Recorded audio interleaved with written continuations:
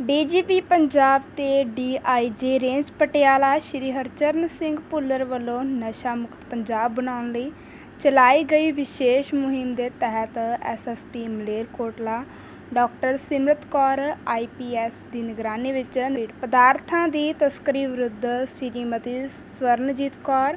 PPS ਕਪਤਾਨ police headquarters Malerkotla ਦੀ ਦੇਖ ਰੇਖ ਹੇਠ ਵਿਸ਼ੇਸ਼ ਟੀਮਾਂ ਸ਼੍ਰੀ ਅੰਮ੍ਰਿਤਪਾਲ ਸਿੰਘ ਪੀਪੀਐਸ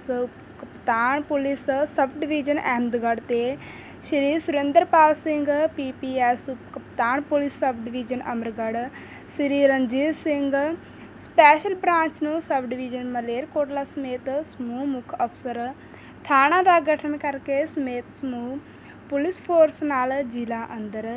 ਰੇਡ ਕੀਤਾ ਗਿਆ। ਮਲੇਰਕੋਟਲਾ ਤੋਂ ਕੁਲਵੰਤ ਸਿੰਘ ਮੋਹਾਲੀ ਦੀ ਰਿਪੋਰਟ।